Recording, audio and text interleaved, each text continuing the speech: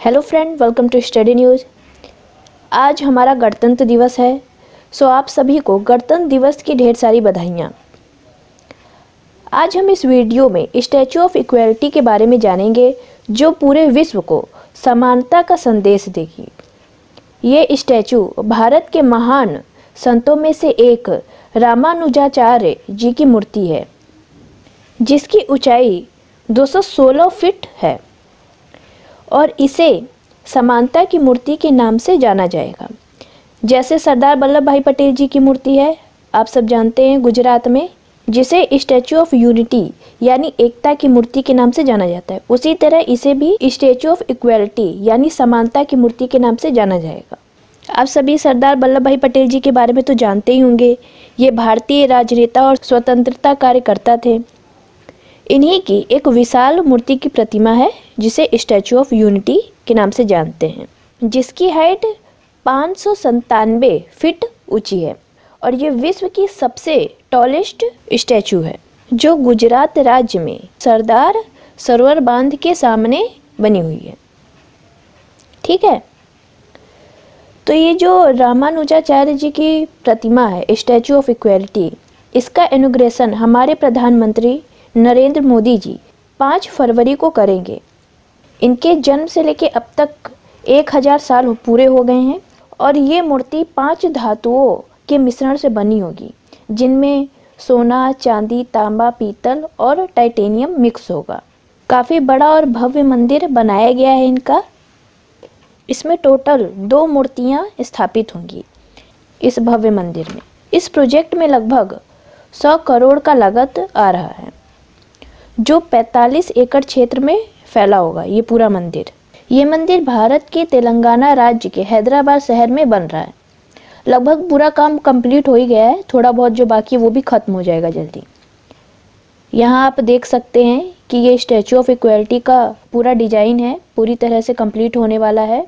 इसमें कई आधुनिक सुविधाएँ होंगी, जैसे एजुकेशन के लिए लाइब्रेरी होगी, गैलरी होगी और संत रामानुजाचार्य के जीवन से जुड़ी कई कहानियाँ, जो वीडियो में चलेंगी, कई सारे फ़ोटो होंगे, ये सब इस मंदिर में होंगे, जिन, जिसके ज़रिए आप इनके बारे में अच्छे से जान पाएँगे।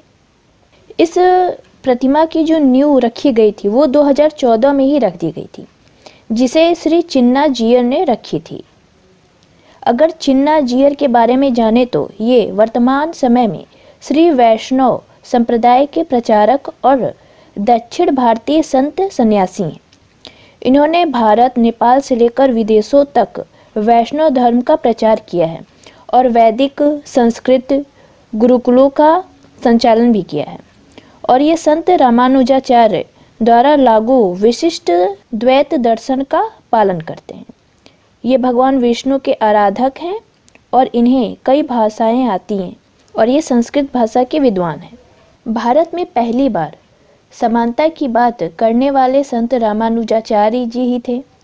इसीलिए इस भव्य मंदिर में जो दो मूर्तियाँ स्थापित होंगी, दोनों ही बहुत इम्पोर्टेंट हैं।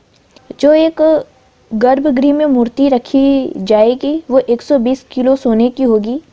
120 किलो की इसलिए क्योंकि ये धरती पर 120 वर्ष तक रहे थे।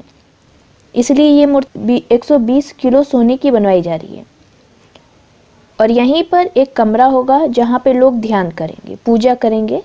और जो दूसरी मूर्ति है, जो 216 फीट लंबी पाँच धातुओं से मिलकर बनाई जा रही है, और यहीं पर डिजिटल लाइब्रेरी रिसर्च सेंटर होंगे।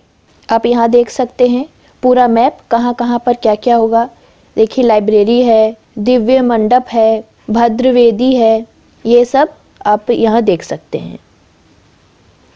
और इनके जीवन से जुड़ी कहानियों को दर्शाने वाला एक ओमनी मैक्स थिएटर होगा और एक प्राचीन भारतीय ग्रंथों के पुस्तकों के लिए भी एक लाइब्रेरी बनाई जा रही है। इस पूरे प्रोजेक्ट को श्री चिन्नाजीर स्वामी के अनुसार डीएनवी प्रसाद और दक्षिण भारतीय फ़िल्मों के आर्ट डायरेक्टर आनंद सई ने इसका पूरा डिज़ाइन आर्किटेक्ट किया है। इस प्रोजेक्ट के डिज़ाइन में करीब दो साल लगे हैं। आप समझ सकते हैं कि कितना काफ़ी बड़ा मंदिर है। फिर जाकर ये डिज़ाइन फाइनल हुआ है। आर्किटेक्चर का मानना है कि ये मंदिर अपनी खूबियों के कारण दुनिया भर में काफ़ी प्रसिद्ध होगा अपनी सुंदरता के लिए और ये मंदिर उन दुर्लभ मंदिरों में से एक होगा जो वैष्णव संप्रदाय को मानने वाले संत पर बना है। इस मंदिर के बनने के लिए दुनिया भर से लोगों ने डोनेशन दिया है। सनातन परंपरा के किसी भी संत के लिए अभी तक इतना भव्य मंदिर नहीं बना था। रामानुजाचार्य स्वामी पहले ऐसे संत हैं, जिनकी इतनी बड़ी प्रतिमा स्थापित की गई है। इसे Guinness book of world record में शामिल भी किया गया है। इस मंदिर में, इस भव्य मंदिर में बहुत सारे म्यूजिकल फाउंटेन भी होंगे, जिनके ज़रिए आप रामानुजाचार्य की गाथाएँ सुन सकते हैं। इस मंदिर के निर्माण के लिए राजस्थान से पत्थर मंगवाए गए हैं और वहीं से कुछ कलाकार भी आए हैं जो पत्थरों पे नक्काशी करेंगे। और मंदिर में टूरिस्ट के लिए फाइव लैंग्वेज में ऑडियो गाइड की सुविधा की गई है। Five language English, Hindi, Tamil, Telugu और कोई दूसरी लैंग्वेज भी है, जिससे लोगों को इस मंदिर के बारे में जानने में आसानी हो। और कई वीडियो क्लिप भी चलाए जाएँगे, दिखाए जाएँगे। तो अब जानते हैं कि रामानुजाचार्य कौन थे।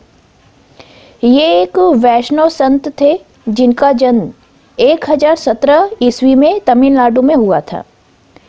ये विशिष्टा द्वैत वेदांत के प्रवर्तक थे और काची में इन्होंने अलवार यमुनाजाचार्य जी से दीक्षा ली थी और श्री रंगम के यतिराज नाम के सन्यासी से इन्होंने सन्यास की दीक्षा ली।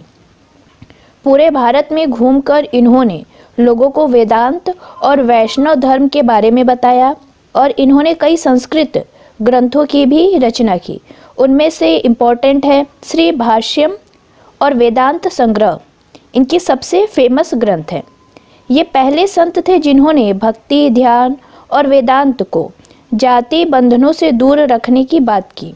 और धर्म, मोक्ष जीवन में समानता की पहली बात करने वाले ये पहले संत बने।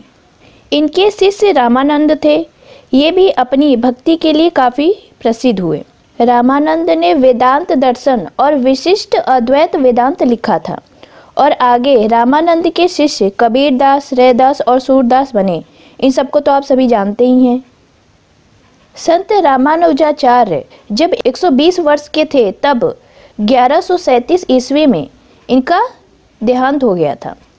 तो इन्हीं की प्रतिमा का इनोग्रेशन पीएम मोदी पाँच फरवरी को करेंगे। तो ये थी सारी जानकारी स्टैचू ऑफ़ इक्वालिटी के बारे में। So thanks for watching this video please like subscribe and comment